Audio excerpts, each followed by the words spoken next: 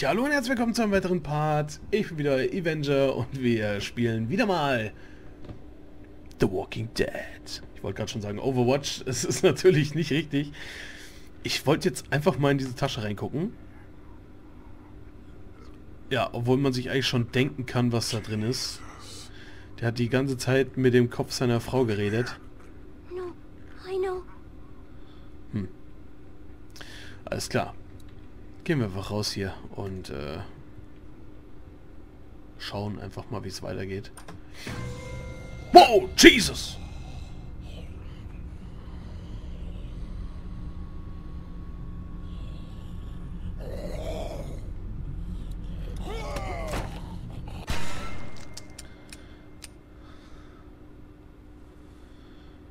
It it didn't bite you. Yeah, I know it. Must have You're covered in all that gross stuff. had to get through Hmm. a bunch of them to get here. That's how we'll get out of Savannah.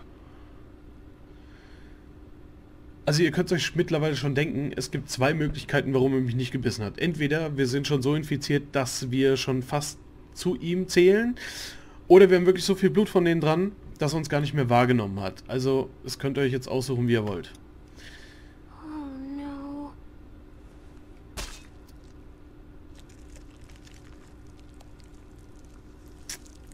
Ja, das haben sie auch in der Serie gemacht. Ich glaube, in der ersten oder zweiten Staffel war das sogar.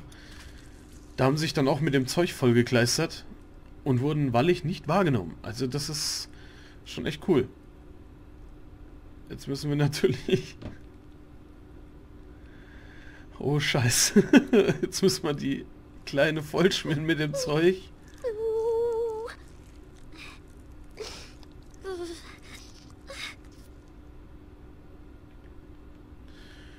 Ja, ist auf jeden Fall kalt, hä? Jetzt, We'll get you cleaned up as soon as we can. Not soon enough. das kann ich mir vorstellen. Huh.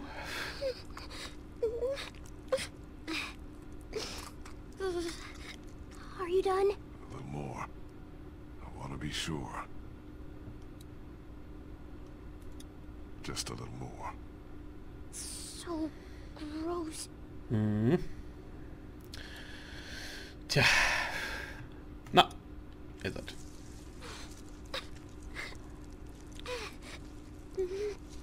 There. That should do it. I hope Oh so. Mensch. Die arme Kleine macht schon echt was durch. I thought it was gone. I thought you were gone. Thank you. Bedank dich, wenn wir draußen sind. Stay right next to me. Very slowly. Don't look around. And don't panic.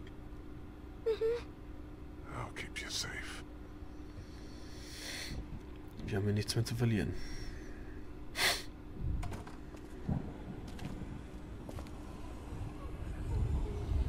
Ach, was ist in der Tasche? War sogar ein Erfolg, den wir freischalten können. Schön. Ja, dann ähm, würde ich mal sagen, gehen wir mal ganz, ganz langsam da durch.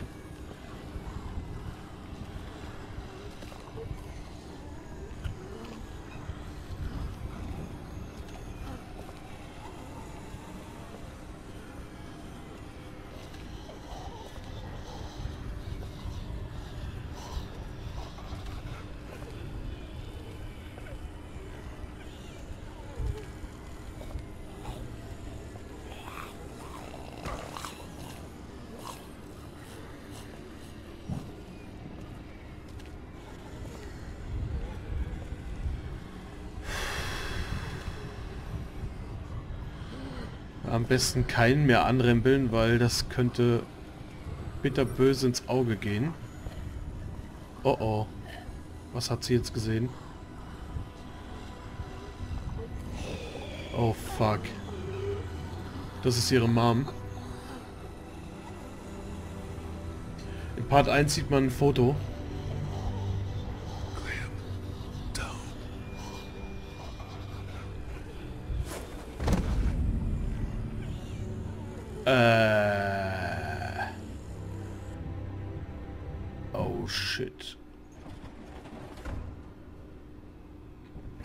Jetzt echt irgendwo hingezerrt? Das hat sie geschafft? Lee, wake up. Please don't be dead. Please, no.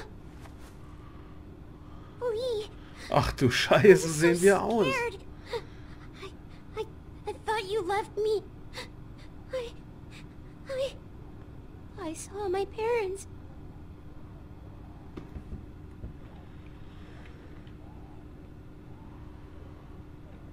I know. They didn't get to you, right? No. We got away. They're dead for sure.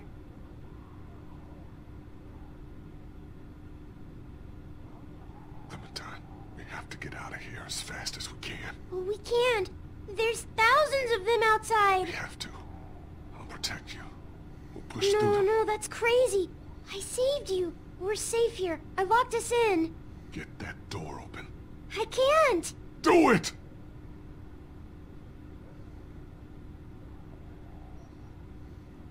It was only a little open when I found it.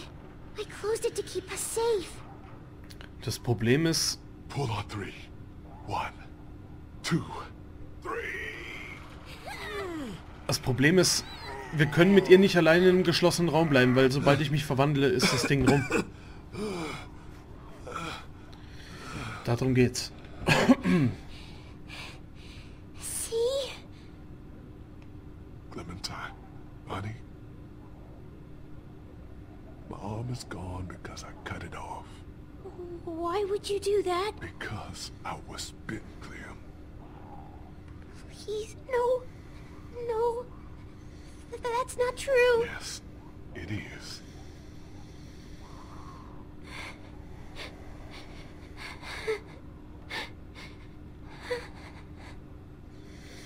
It's like Larry, isn't it? I'm sorry, Clementine. I'm supposed to take care of you. I can't now. I know.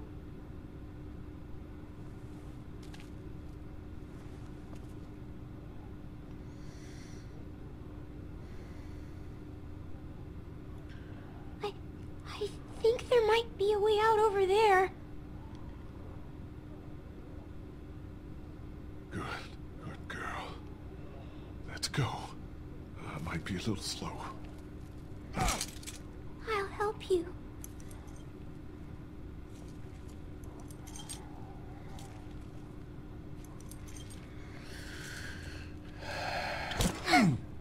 I got you. You can lean on me if you have to. I'm okay. I'm okay. I thought I was helping by bringing you in here.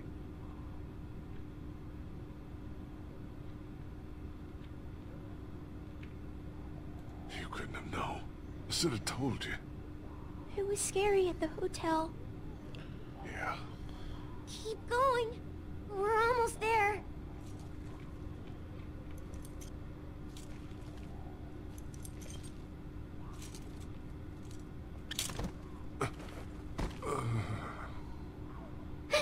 Get up, Lee. The door is right here.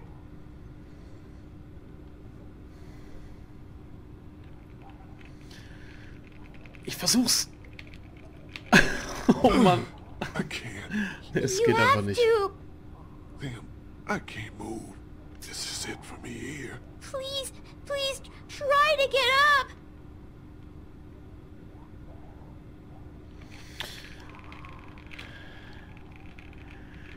Komm schon. I can't.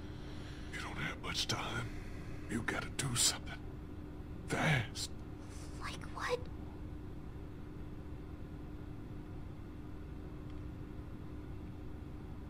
You need to get out of here as soon as you can. I I can't leave you. Just work on getting out, okay?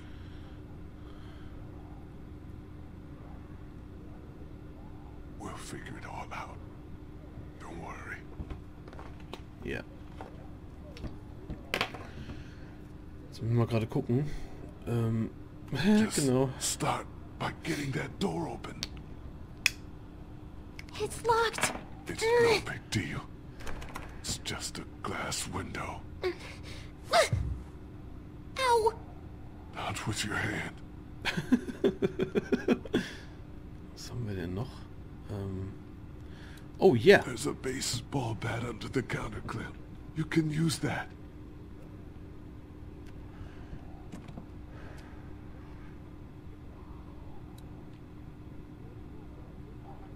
Use bat to shatter that window so you can reach in, okay? Okay. Watch out for broken glass. Good job.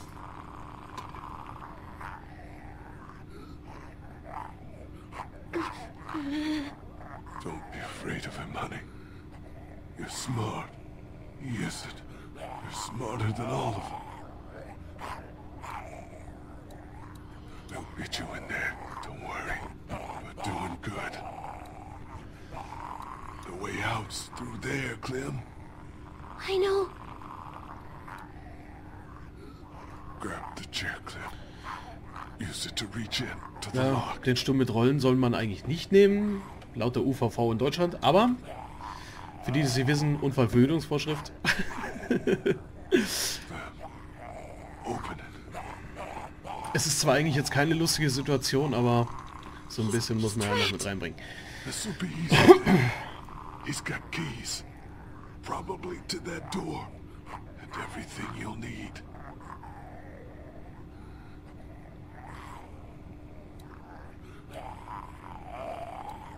There are handcuffs on the ground. Get them. Okay, Lee.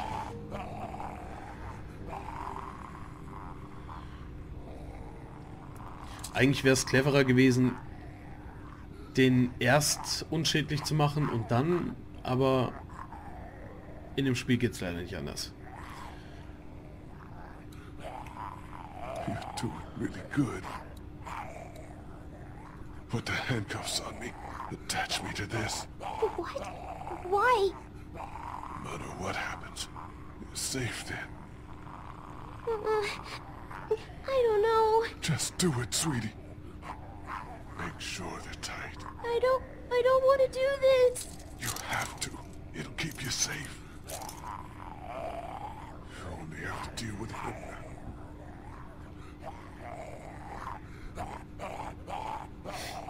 He's trapped over there. If you're careful, you can get what you need from him. The keys, and then the gun.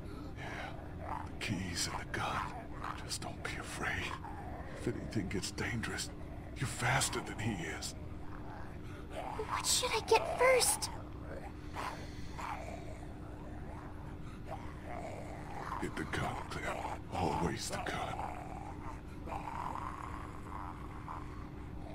Ja, falls sie sich losreißt, dann hat sie was. Oh shit. Get him! Get him! Get him! Get him! Scheiße, scheiße, scheiße. Ich kann Watch nichts out. tun.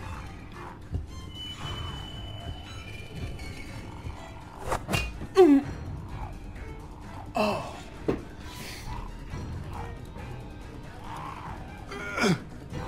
Ja, klar, Erik ist toll. Du bist so ein Pfosten. Komm, treten. Ja.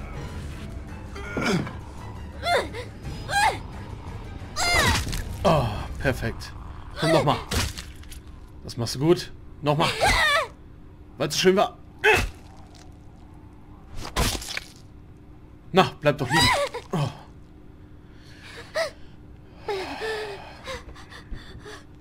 Jesus Christ. I did. it. I got him.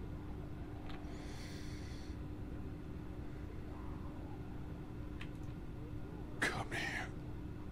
Yeah,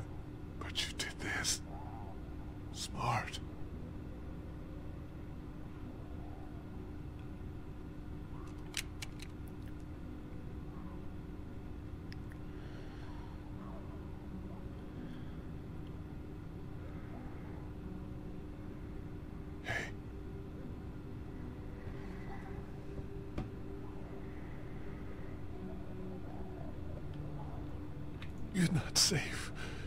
Not till... Not till you're away from me if I turn. No, you can't. You can't do that. Trust me, Clem. I don't want to. I'm trying. I'm trying. It's so horrible. I, I can't imagine, sweet pea. And now, you? Please. Please don't be one of them. Please don't become a walker. There's only one thing you can do. You know that. I don't know if I can. You can leave me. It's okay. You'll be just like them. It's okay. It won't be me. Please. It's time to go. You gotta get out of here. Y- you can come with me. No, honey. I can't. It's okay. Please. You have to go. Now. M- Maybe. Maybe. Maybe I shouldn't let you turn. I don't want you to have to do that.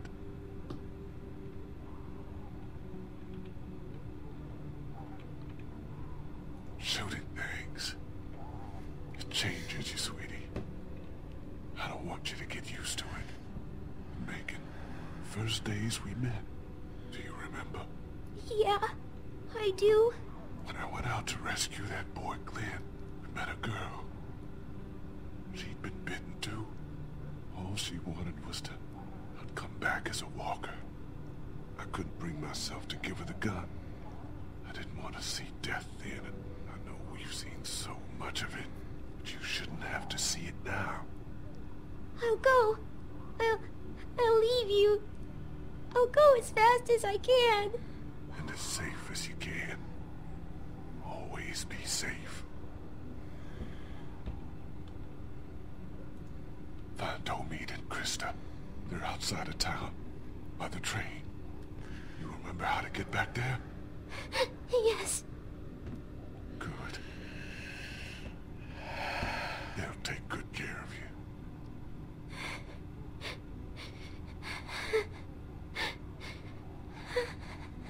And Clem.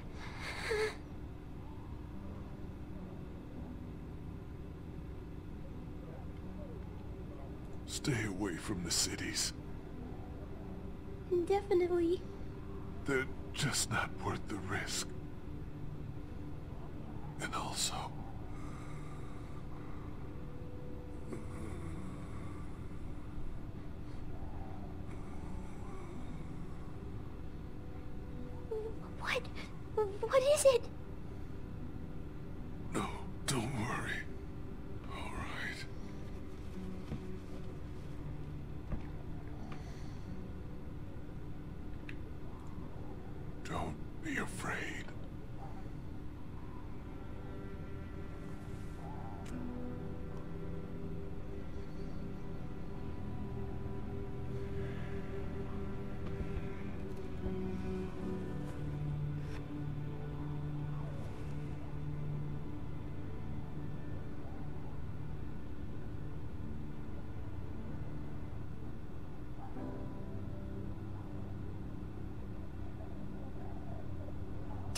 Don't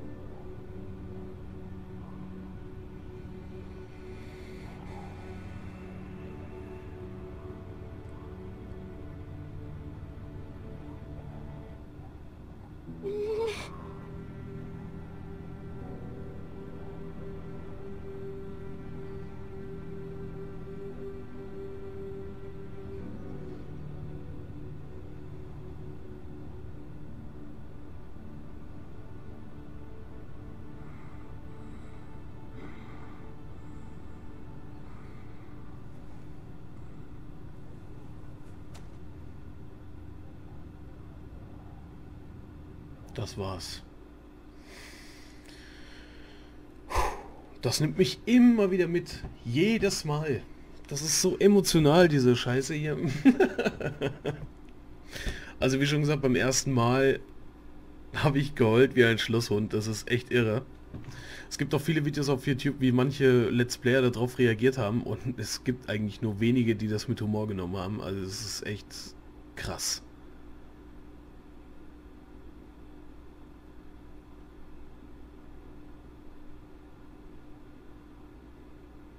Und kommen wir auch schon zum Schluss.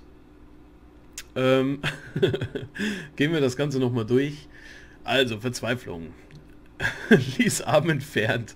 Tun 71% der Spieler deinen Arm entfernen. Warum haben es die anderen nicht gemacht? Also, also an meiner Stelle jetzt mal ganz ehrlich, ich, ich weiß zwar nicht, wie ich jetzt wirklich da handeln würde, aber wenn es eine Möglichkeit gibt, die Zeit noch ein bisschen rauszuzögern, beziehungsweise in der Serie hat man ja gesehen, es kann auch Leben retten. Ähm, wie man da den Arm drin lassen kann, keine Ahnung. Ich hätte ihn auf jeden Fall abgemacht, 100%. So, Konsequenzen. Beherrschung verloren. Du und 74% der Spieler ihre Beherrschung verloren. Bei welchem Szenario eigentlich?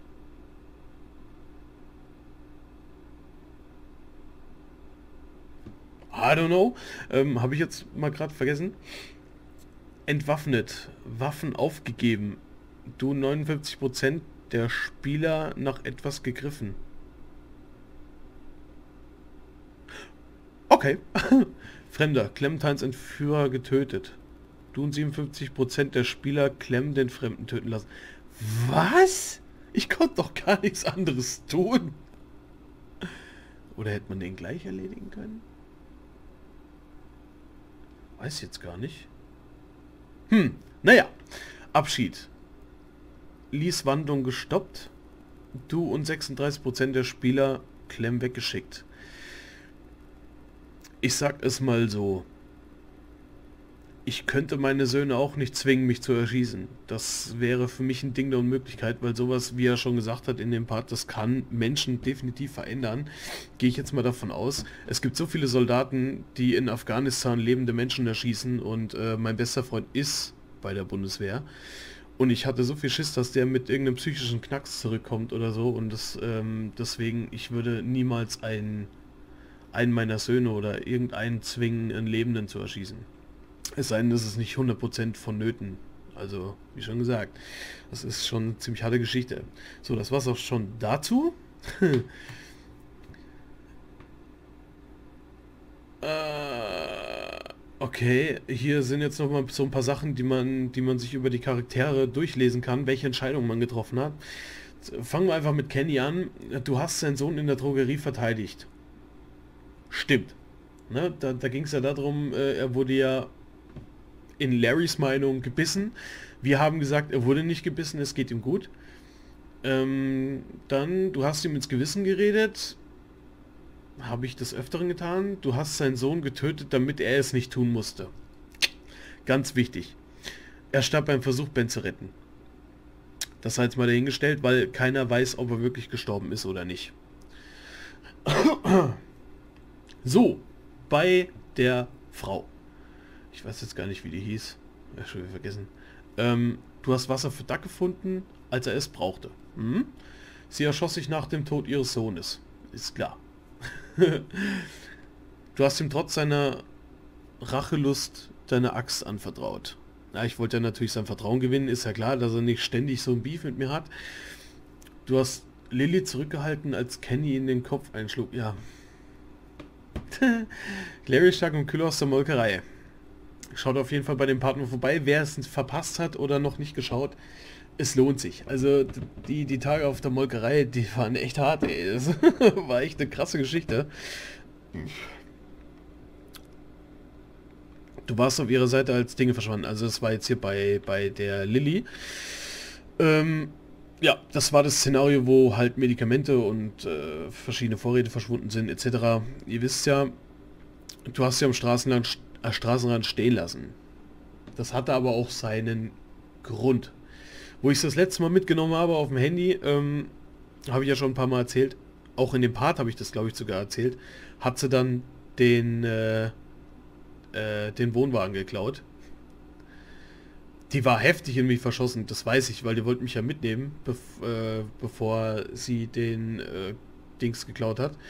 Also wie schon gesagt, da war so eine kleine Verbindung, aber ich, ich konnte es einfach nicht, äh, ja, ich weiß nicht, sie hat halt einen erschossen. Ich hätte wahrscheinlich, ich hätte es wahrscheinlich trotzdem im Real Life hätte ich es anders gelöst, aber wie schon gesagt, das habe ich in dem Part alles erklärt, das muss ich jetzt nicht nochmal durchkauen. So, Omid, du hast ihm geholfen, auf den Zug zu kommen. das war auch eine geile Geschichte, weil er sich ja das Bein verletzt hat, ist ja völlig logisch. Und wo ich auf dem Handy erst der Frau geholfen habe, wegen, äh, Frauen und Kinder zuerst und so. Da hat sie mich angeschissen, warum ich einen Verletzten nicht helfe. So, jetzt habe ich auch mitgeholfen. Dann hat er mich angeschissen, warum ich der Frau nicht geholfen habe. Also das in dem Spiel konnte man einfach nur einen Anschiss kassieren und das war halt ein bisschen tricky. Ja, ist ja egal.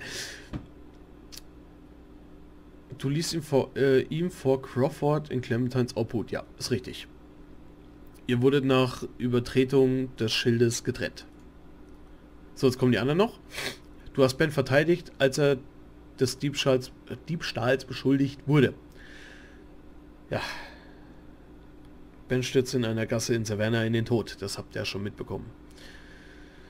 So, dessen Namen ich wieder vergessen habe. ich glaube, Katja war es. Katja? Nee, Katja war die Frau von ihm. Cory? Cory? Irgendwie sowas. Ich müsste es nochmal in den Parts nachschauen. Du hast sie deine Vergangenheit anvertraut, sie wusste es ja eh schon, also daher ist egal. Du hast ihr Leben auf Kosten eines anderen gerettet. Ja, das sehen wir dann hier drüben, das ist noch der andere Typ oder so. Ich weiß jetzt gar nicht, das ist, die Kamera ist ja spiegelverkehrt. ähm, sie wurde von Lilly getötet. Ja, das war dann die Aktion, wo ich dann mich entschlossen habe, Lilly auf der Straße zu lassen. Aber das haben wir ja gerade schon durchgekaut. Du hast ihr zugestimmt, den anderen von deiner Vergangenheit zu erzählen. Haben wir auch gemacht. Es hat dem Vertrauen geholfen und es war auf jeden Fall besser für die Gruppe. Du hast ihn in deinem bisher schlimmsten Tag kennengelernt. Ja, ist richtig. Du hast ihr dein Biss gezeigt. Also das ist jetzt von Chris, ist ja klar, ihr lest ja bestimmt mit. Du hast ihr und Omid gesagt, sie sollen dich am Zug treffen. Ja. Ob das jetzt wirklich so klappt, wissen wir nicht. Du hast hier nur mitgebeten, auf Clementine aufzupassen. Richtig. Bei Kenny ist es so, er wäre allein gewesen und das ist ja auch so ein Draufgänger-Typ. Also der hätte auf jeden Fall auf kurz oder lang hätte er wahrscheinlich sein Leben riskiert für irgendwas und hätte die Clementine mitgerissen. Und die zwei, die hätten eine Familie auch echt gut gebrauchen können, deswegen habe ich sie dahin geschickt. Ist einfach so. Und die Christa war sowieso immer verantwortungsbewusst von vornherein, hat immer auf die Clem geachtet und hat mit geredet und keine Ahnung. Deswegen habe ich mich dazu entschlossen. Mm, so, jetzt kommen wir zu dem Typen hier, dessen Namen ich auch wieder vergessen habe. er war bei dir, als du deinen Bruder gefunden hast. Das stimmt, ebenfalls. Es war, glaube ich, in der ersten Episode, wo wir in der Drogerie waren.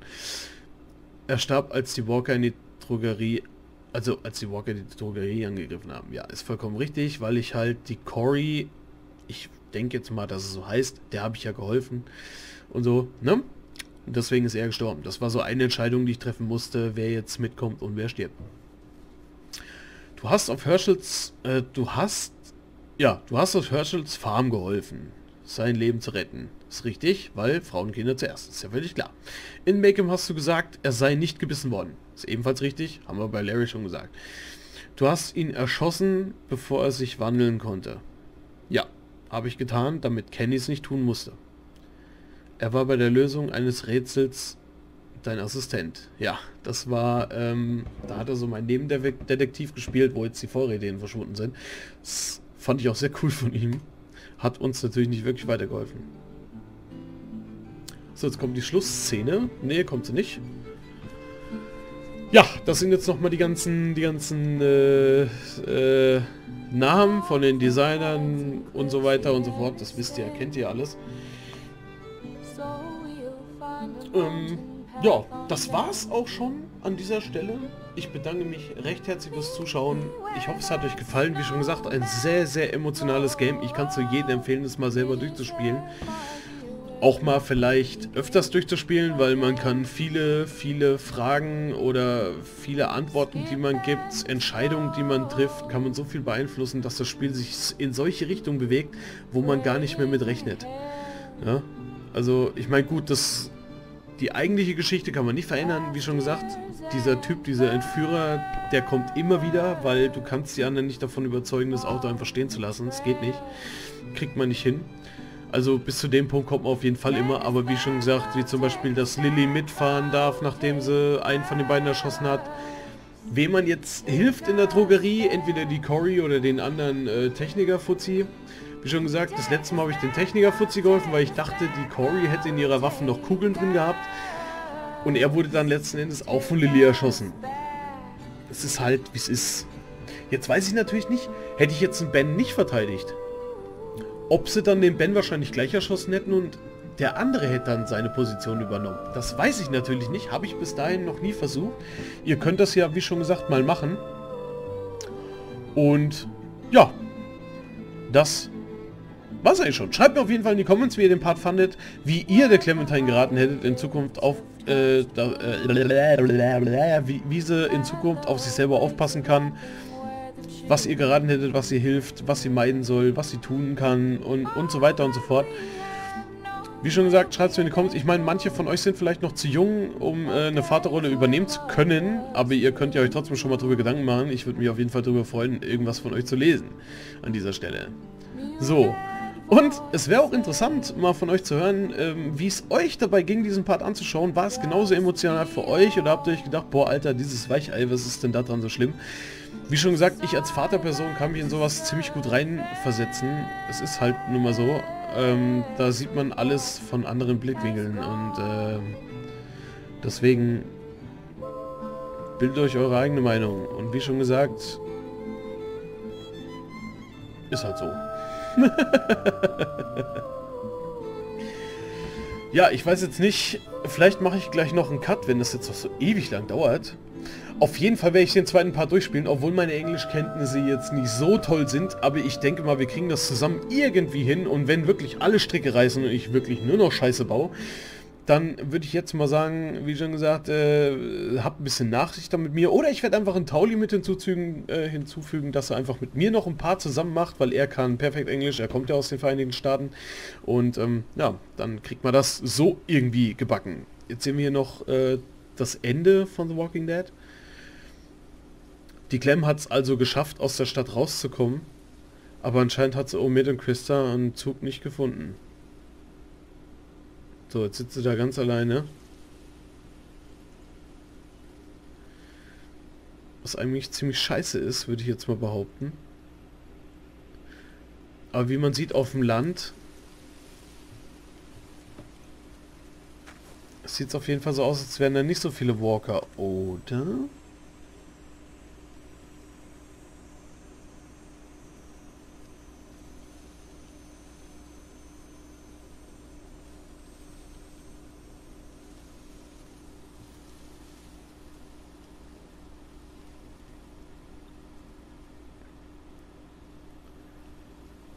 Jetzt ist die Frage, wer ist das?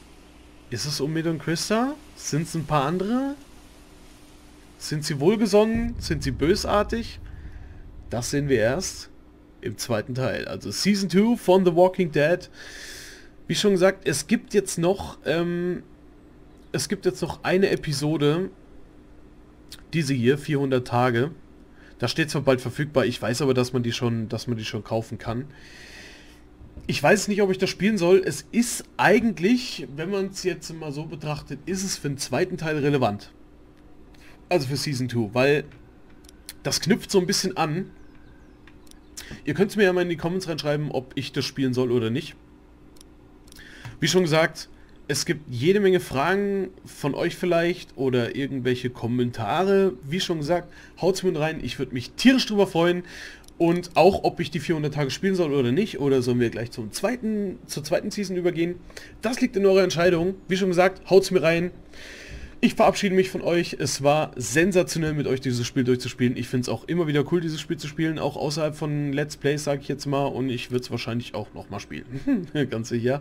Weil es gibt so viele Entscheidungen, die ich äh, einfach noch treffen würde oder anders machen. Mal gucken, vielleicht, wenn ich es mal höre, spielen wir einfach mal ein komplettes Arschloch im nächsten Mal. Also, wie schon gesagt, es ist noch ein bisschen dafür hin, aber wie schon, ja, wir müssen noch ein bisschen Gas geben, weil die zweite Season, die ist ja, die ist ja schon längst da. Dann gibt es auch dieses Michonne-Special, was aber mit der Story gar nichts zu tun hat. Und der Tauli hat mir verraten, das ist nämlich so ein Insider-Typ, der hat immer, der weiß immer Bescheid über solche Sachen.